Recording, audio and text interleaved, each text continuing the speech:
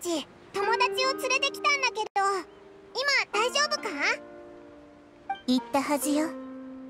人を連れてきても意味はないって。いやただ本当のドニアザードの状況をこいつに見せてやりたいだけなんだ。本当のドニアザード一体どこにいるんだ？それにあんたたち誰と話してる？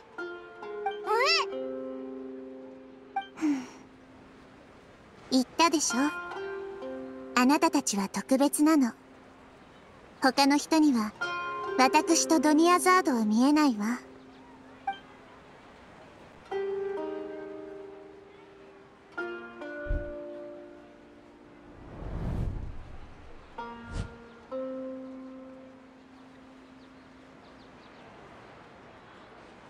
待ってくれ。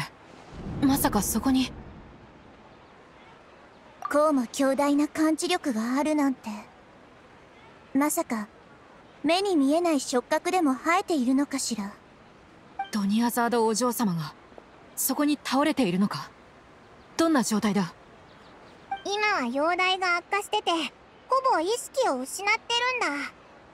でもどうしてそこにいるって分かったんだ？感じるんだ。彼女の気配を。それと心残りや悔しさのような気持ちも。一体何が起きているんだ？今ならオイラたちのことを信じてくれるか？家臣短術がずっと繰り返されてるって。つまりお前は賢者たちの仕業だって言いたいのか？ああ。賢者はずっと私たちと対立してきた奴らはこの日にアーカーシャを使って何かしようとしていたのかもしれない。そう言われると確かにこんな大規模で奇妙な事件神以外だともうスメールの教令院にいる賢者くらいにしかできなそうだよな。もしかしてアーカーシャ装置に何か秘密があるのかも。オイラたちの記憶を呼び覚ました時缶詰知識みたいなのを使ってたよな。少なくともアーカーシャについて何か知ってるんじゃないか？アーカーシャは神の心によって稼働していて知恵の神の力が具現化した姿なの。全ての民の英知を束ね人々に知識を授けているわ。神の心スメールの神の心はアーカーシャを稼働させるのに使ってたのかそんな使い方があったなんて。道理でアーカーシャって不思議なわけだ。そのあんたたちに見えているナヒーダとやらは何を言っているんだ？ナヒーダが言うにはアーカーシャは神の心によって稼働していて知恵の神の力が具現化した姿らしいぞ。全ての民の英知を束ね人々に知識を授けてるみたいだ。全ての民の英知を束ね人々に知識を授けている。待ってくれ。知識を授けるのは理解できる。人々はずっとアーカー社から知識を得ているからな。だが全ての民の英知を束ねるとはどういう意味だ？賢者たちも知識をアーカー社に記録してるんじゃないか？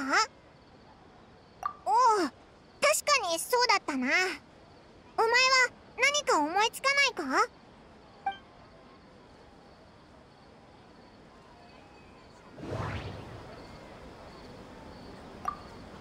それほど考え事をしていたわけでもないのに頭が異常なまでに疲れてる。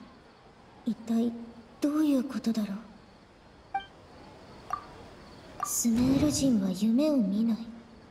奇妙な現象だ。アーカー社は神の心によって稼働していて知恵の神の力を具現化した姿。全ての民の英知を束ね人々に知識を授けている。そうな。目の前で起こっていることがまるで以前にも経験したことのあるような感覚。それが最近どんどん強くなってきている。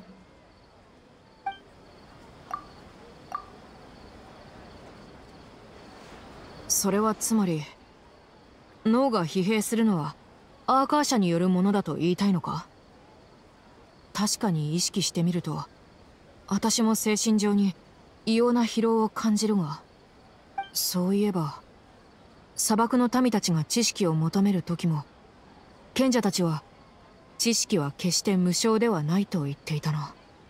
まさか民の英知を束ねるとは。アーカー社が逆に我々の脳を利用することを指しているんじゃないか。さあな。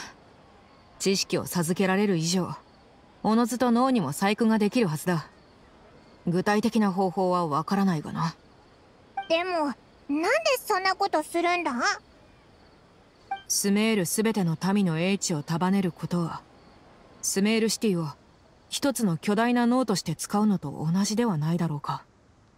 例えば最も優れた頭脳を持つ人物が解決できない問題でもその巨大な脳を使えば新たな結論を見出せるかもしれない。素晴らしい推理ね。特にスメールシティを巨大な脳と比喩したところはええ私も気に入ったわ。だったら早くアーカーシャ端末を外そうぜ。これで問題が解決するかもしれないだろ。ああ。もともと私も体裁上つけていたんだがまさか賢者たちにはめられていたとはな。この件が終わったら必ずや証拠を見つけ出してこのことを公にさらしてやるんな感じだ？ん何に気づいたんだ？あ？それだったらオイラも覚えがあるぞ。なんかアーカー社から伝わってくるような小さなピーっていう音だろ？ピという音まさかアーカー社を操作する時の音か。なんかすごく重要な手がかりな気がするぞ。アーカー社を操作してないのにその音が聞こえてくるなんて。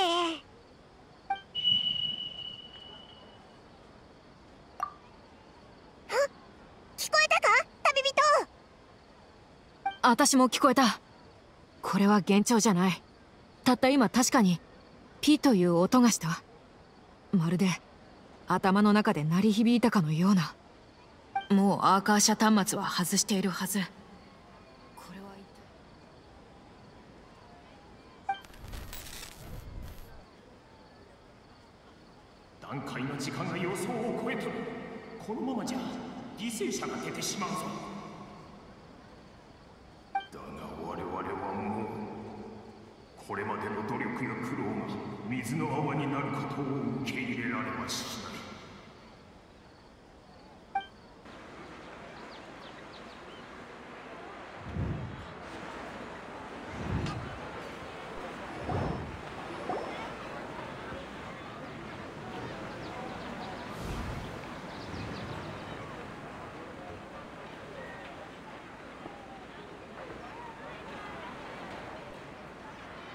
おおいら全部思い思い出したぞ。よかった。今回は適応が早かったわね。オイラたちアーカー社を外したのに。それでもあの音が聞こえてきたぞ。あれは一体どういうことなんだ？でもこれでオイラたちが同じ日から抜け出せないのがアーカー社と関係してるってことが分かったな。もしもアーカー社がみんなの英知を盗もうとしてるのならなんでこんな状況を作り出したんだろう？あ実験台にいるマウスがそのような扱いを受けている理由を知るのは確かに困難極まりないことよ。オイラたちをマウスに例えるのかよ？だったらお前は何なんだナヒーダお前はまだオイラたちに正体を言ってないだろう。ん。私は好きかな？好き？それってオイラたちがやった占いの結果じゃんか。私が誰であるかを知っても真実を知る手助けにはならないわ。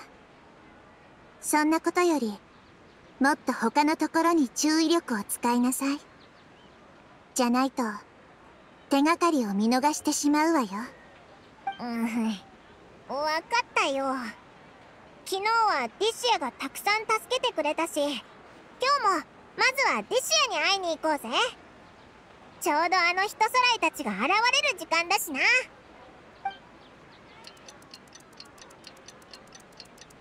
ここにいたのか。人さらいは私が片付けたお嬢様に怪我がないといいんだが。あれ？ディシア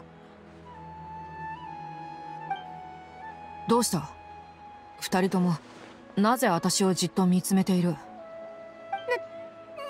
怪我をしてないんだ？は？どういう意味だ？あんな軟弱な人さらい相手に。どうして私が怪我をしなきゃならない？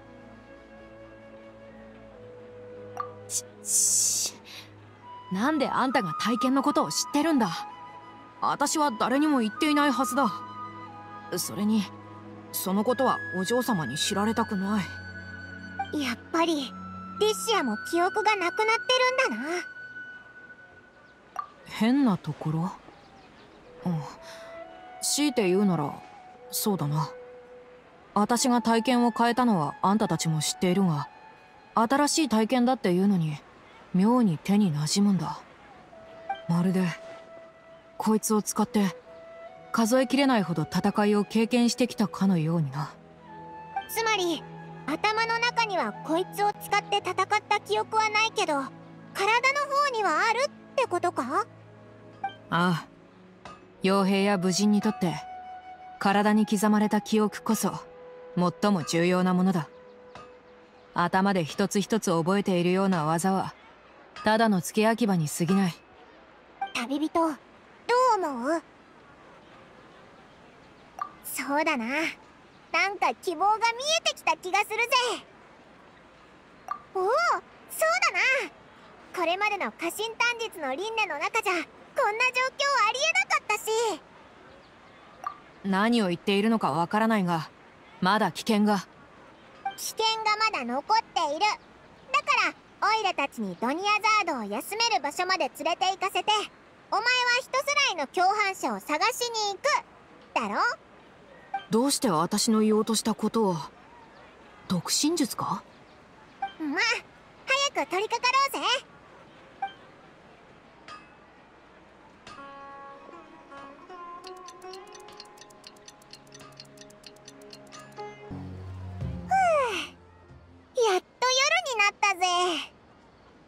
局あのこと以外に変化はなかったな。ナヒーダ実は今日いつもは人さらいを撃退した後に怪我を負うディシアが今日だけ怪我をしてなかったんだ。これって家臣短術の輪廻が終わったってことじゃないか？ドニアザードもこれで助かるかな？そう。そのような進展があったの。悪くないわね。なら今日はゆっくり休むといいわ。おいなんだよそのどっちつかずの返事は。明日はやってくる。このことは誰にとっても当たり前のことよ。でも本当に明日が来るかどうか知ることができるのは明日のあなただけ。今日が何回繰り返されたのか今日の次が昨日である可能性はないか明日という言葉がそもそも初めから捏造された概念なのではないか。もしかしたらこの世界は全てがまやかしでこの大陸の歴史もただの長い家臣探査に過ぎないのかもしれないわね。うーん。もうこの話はやめにしよう。ただでさえ頭が疲れてるっていうのに。だから明日になったらおのずとわかるわ。今日は無意味に脳を使うなということね。しっかりと心身を休めてちょうだい。パーッとトイレにでも行けばいいわ。ん？なんだって？オイラの聞き間違いか？あら？人はトイレに行った後すがすがしい気持ちになるって言うでしょ？だからそれを勧めたのだけど変だったかしら？えー、っとあまりにもおかしくて常識外れだから何を言えばいいのかわからないぞ。さっきまでなんか難しい道理を解いてたのに。そうだな。毎日が家臣探査で楽しい日々ではあるけどずっとのんびりできてなかったし。行こうぜ。部屋に戻ろう。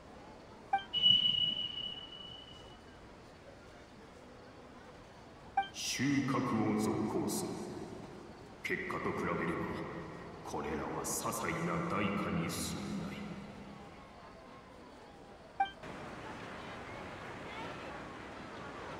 結局また同じ日かよ。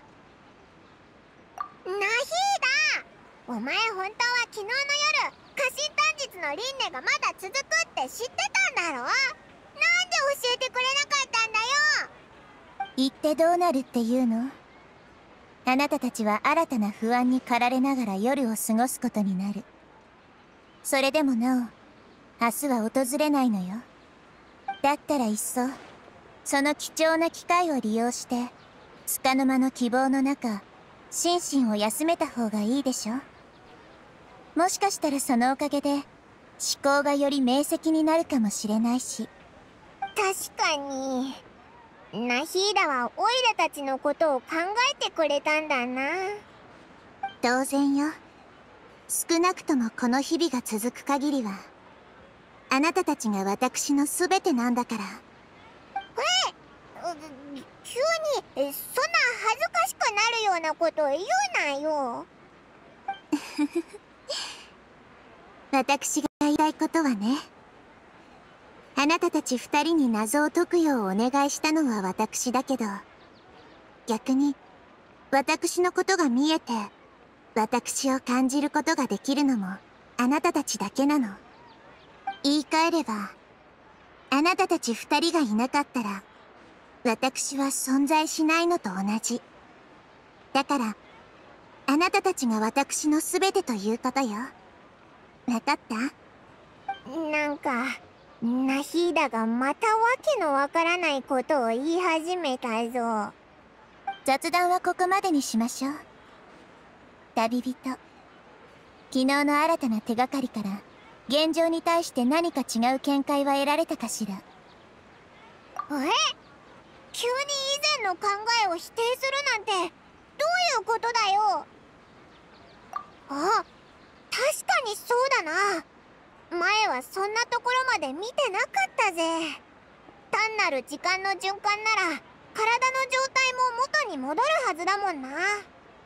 なら新たな結論は何かしら。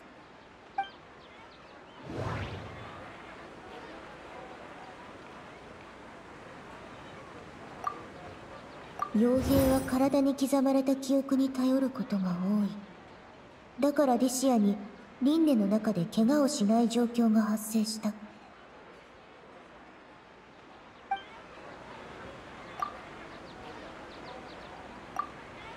どうやら明確な関連性。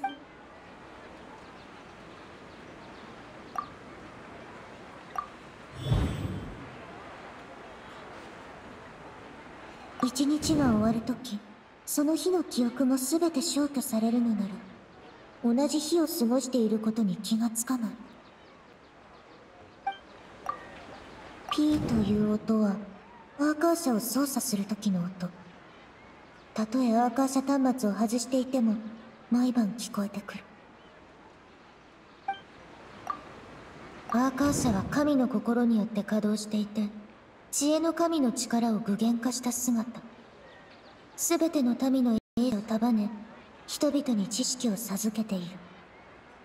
そうナヒーダは言っていた。もう何度も過信短日を過ごしてる。まるで過信いや違う。もう少し考え